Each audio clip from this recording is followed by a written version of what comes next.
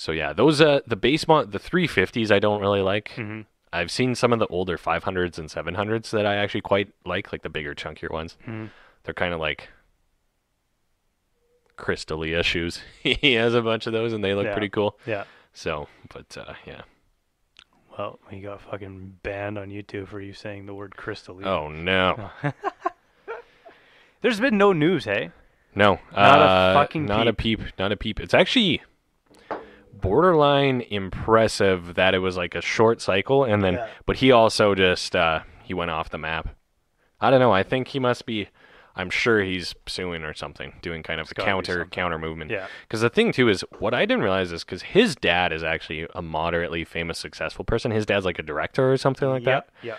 Um, so I was kind of thinking if like he kind of stepped in and made him step to the side or whatever. Yeah. I'm I'm, I'm surprised so far his Netflix specials haven't been pulled.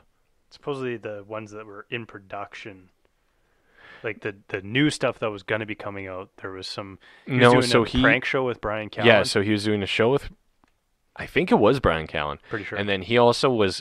Oh, I was I was at the time was pretty happy for him.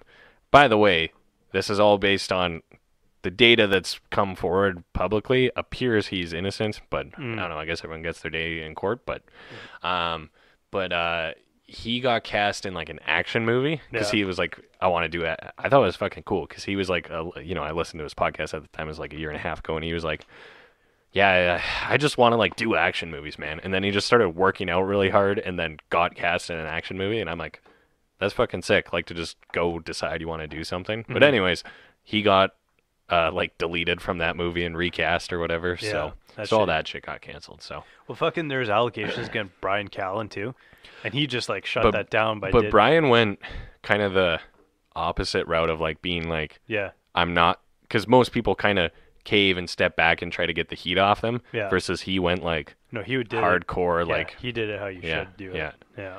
like vehemently.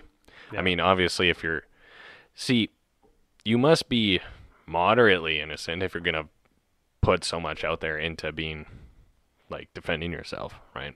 I don't know. I mean, they're guess still we'll see. doing fucking TFATK episode well, and shit. so he's been sort of replaced on TFATK for now with uh, this guy Josh Wolf, who's Okay. kind of funny. I've listened to a few episodes. This is not Yeah. bad.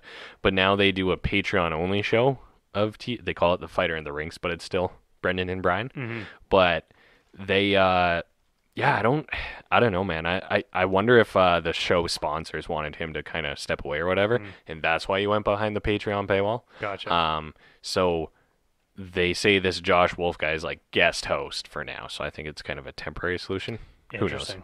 Hmm. mm-hmm, mm-hmm. Hmm. yeah man how do we get on that topic I don't know. Chris D'Elia- Crystalia fucking. oh allegations oh yeah no news I mean, Yeah, no yeah, news so i guess we'll see Yeah, fuck. I'm. I don't know. I miss his shit. I'll still watch his old stuff. So Yeah, man. I mean, fuck those. Some of those podcast moments and shit were so fucking classic, and you can never recreate that. So it was kind of a golden time, but we'll see. We'll see what happens. But I So- mean, fucking, we know what we know about Bill Cosby. Was Bill Cosby fucking and the Brady Bunch still not the Brady Bunch, but fucking the Cosby Show?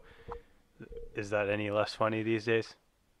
I don't know. I've never watched it, but I see your point. Can you separate the artist from the Yeah. thing or the historical? Can you listen to Michael Jackson music and be like, "Wow, this guy is fucking amazing at Mm-hmm, writing music"? Yeah.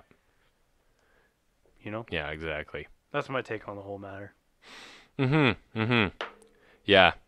All those things, like terrible things aside, it's like, yeah, I guess they were talented, right? So, Mm. but